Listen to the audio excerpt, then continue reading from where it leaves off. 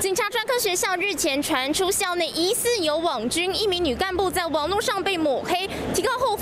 攻击她的疑似就是校内的网巡小组。女干部 A 小姐向周刊透露，网巡小组是学校2017年成立，规定如果有看到攻击学校的负面文章或是不当留言，可以澄清纠正。但总队长林义正上任后就变了调，他控诉2020年有篇抱怨中队长的社群贴文，三名网巡小组成员却留言带风向，说是他写的。A 小姐提告后，林义正总队长回应三人是执行公务，还花二十四万元公堂替他们请律师，让他质疑总队长包庇护航。那也经过检察官哈缜密的侦查，作为不起诉的处分。那学校呢，因为他当事人有涉及一些比较不好、不适当的一些言论，所以学校也给予调职。还有做一些行政的处分哦。不过整起案件也引人疑窦，警专的内部纠纷为何需要花二十四万元去找律师辩护？这都是人民的纳税钱。那我们学校是依据那个公务员保障法，那经过审查，就是他也是依法执行公务，然后也是网巡小组，